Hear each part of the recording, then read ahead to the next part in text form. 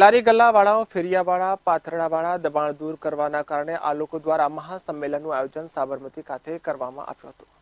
અમદાવાદમાં દિવસે ને દિવસે ટ્રાફિકની સમસ્યા વધી રહી છે. ત્યારે આ સમસ્યાને લઈને રોડ ઉપર થતા ગેરકાયદેસર દબાણ દૂર કરવા માટે એએમસીના અધિકારીઓ તથા પોલીસ તંત્ર દ્વારા કામગીરી હાથ ધરવામાં આવી છે.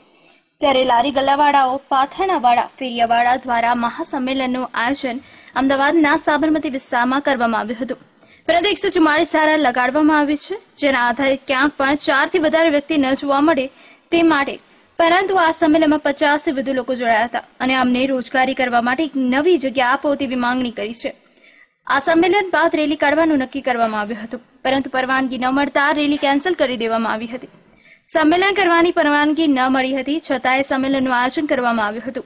અને અમને જો જગ્યા ધંધો કરવા માટે નહીં મળે, તો અમે આવનારા દિવસોમાં એક નવું આંદોલન કરીશું તેવી ચીમકી પણ આપી છે. ત્યારે સ્થળ પર જ પોલીસ બંદોબસ્ત ખૂબ જ ચુસ્ત ગોઠવવામાં આવ્યો હતો, જેથી કરીને જે સંમેલન છે તે સંમેલનને રોકી દેવામાં આવે. લારી ગલ્લાને જે પાથરણાવાળા હતા, તેમના દબાણ દૂર કરવાની જે કામગીરી કોર્પોરેશન દ્વારા કરવામાં આવી હતી, તેને લઈને આપ જોઈ શકો છો કે જે લારી ગલ્લાવાળા અને જે પાથરણાવાળા છે, તેમનું ટોળું અહીં અહીંયા આવી રહ્યું છે. જે પ્રમાણે તેમણે કહ્યું હતું કે મહાસંમેલનનું આયોજન અહીંયા અચેરા બસ ડેપોની પાછળના મેદાનમાં જે મહાસંમેલનનું આયોજન કરવામાં આવશે. આ મહાસંમેલન બાદ રેલી કાઢવામાં આવશે, જે અમદાવાદથી જે કહી શકાય કે સચિવાલય, ગાંધીનગર સચિવાલય સુધી લઈ જવામાં આવશે.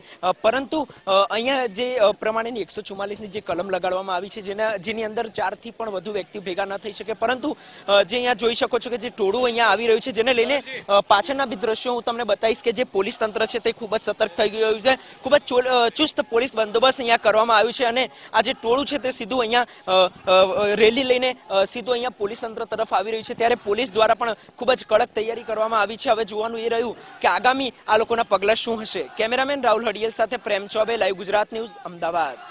આગામી પ્રકારનું અમારી કમિટી નક્કી કરશે એ રીતના અમે નક્કી કરીને લોકોને જાણ કરશું. આજની અમારી પરમિશન વગર બી ઘણા લોકોને મેસેજ પાસ થયું તેના માટે અમારે અહીંયા ભેગા થવું પડ્યું છે.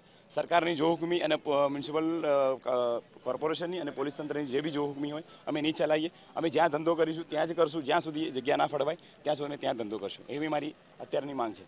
કેમેરામેન રાહુલ હરિયે સાથે પ્રેમ ચોબે લાઈવ ગુજરાત ન્યૂઝ, અમદાવાદ.